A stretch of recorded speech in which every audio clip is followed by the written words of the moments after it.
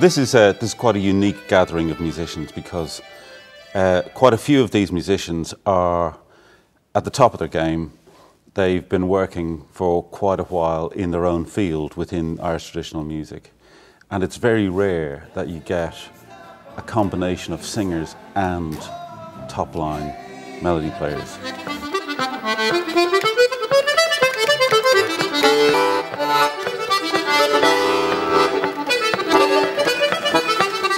It's a project which I conceived for this year's Liverpool Irish Festival.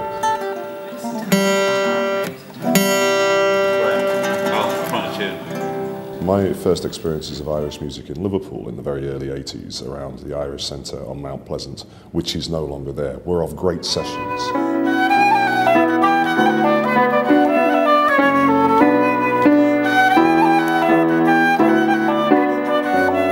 Sessions at, uh, on, on Mount Pleasant that were so very distinctive. And of course, we've kind of lost that now.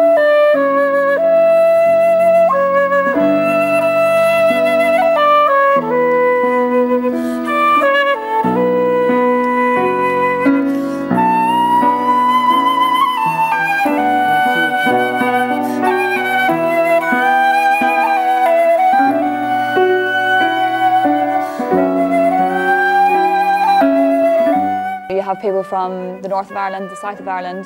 Um, you have people from Liverpool and all over the UK. There's some from London, and um, but basically everyone has got a traditional Irish background of some kind. Um, and the best part of it is really um, having the mixture of everyone's um, favourite kind of um, traditions, and they're bringing it together.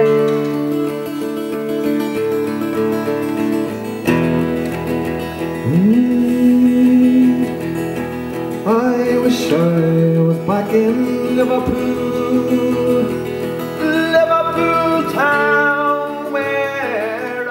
In a way, having 14 musicians where you've got a couple of flute players, a couple of box players, a couple of violins, a couple of guitars, uh, you'd never really get that.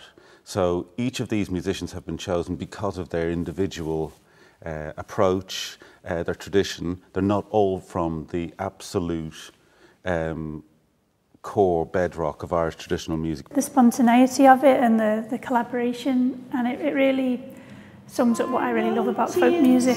Oh, my trouble won't buy no dreams. He's been walking these streets since 1919. He's Everyone has been something special and unique to offer, and then to add it all to one big group, just I think makes the whole thing really exciting.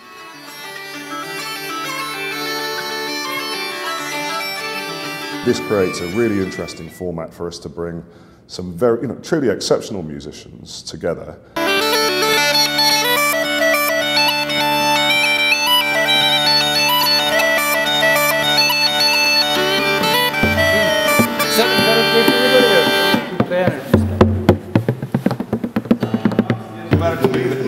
Ti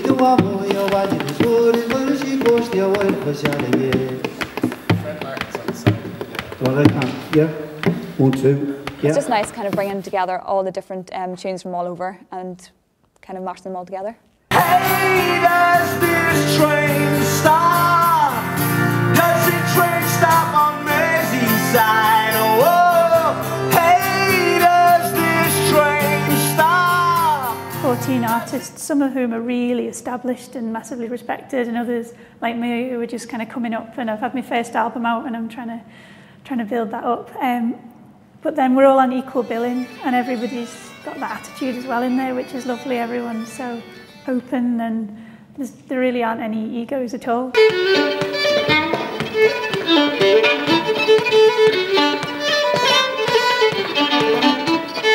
Um, well, I think a lot of us are choosing kind of um, pieces that are, well, partly their favourite tunes, but also some that are kind of linked to different um, parts of where we're from.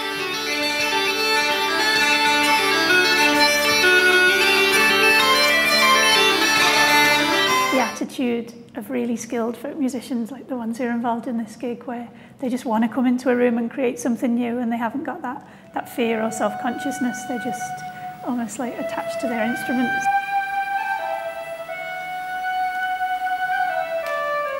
We decided to sort of try and do something that would work on a large scale in the concert hall, create some new music that was a real exchange of artists between Liverpool, Ireland, the Irish diaspora.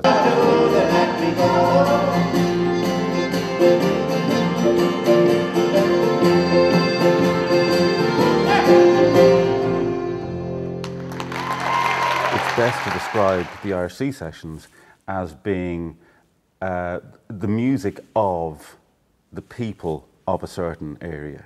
I think there, there are very few Liverpudlians would find any of the songs strange to them because we've purposely chosen the themes which are the bedrock of the Liverpool sing song. The leaving of Liverpool that grieves me, but my darling.